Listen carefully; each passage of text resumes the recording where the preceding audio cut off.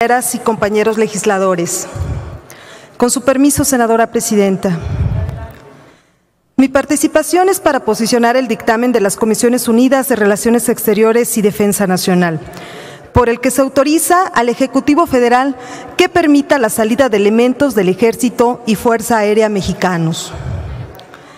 de los límites del país a fin de que participen en el Festival Internacional de Música Militar Torre Espaskaya 2020 en Moscú, Rusia, del 28 de agosto al 6 de septiembre del año en curso.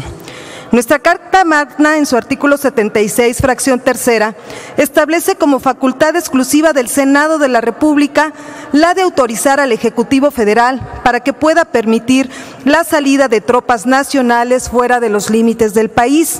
así como el paso de tropas extranjeras por el territorio nacional.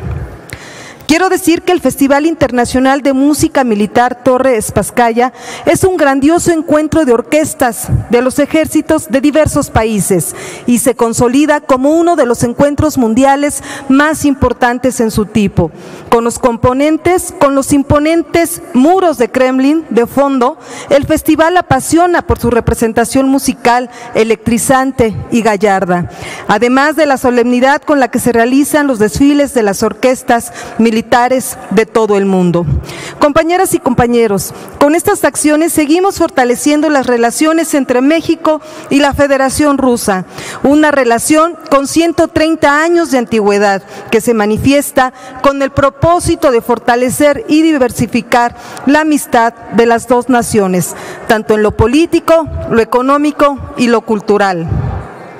Desde el año 1924, México fue el primer país del continente americano que estableció relaciones diplomáticas con la Unión Soviética y desde su inicio las relaciones se basaron en la igualdad jurídica de los estados, en el respeto a la independencia y la soberanía y en la no injerencia en los asuntos internos del otro. Hoy en día y debido al peso específico de Rusia y México, me permito destacar la buena interlocución que hoy existe entre los equipos multilaterales en las cancillerías y las misiones permanentes de ambos países en Nueva York, en temas que incluyen desde el desarme nuclear hasta la cooperación para el desarrollo, la reforma de la ONU y la política exterior. Distinguidas compañeras y compañeros senadores, a través de la autorización de los ejercicios de esta naturaleza, fortalecemos las capacidades de nuestras Fuerzas Armadas y abrimos la gran ventana de oportunidad para estrechar los lazos de amistad entre México y la Federación Rusa.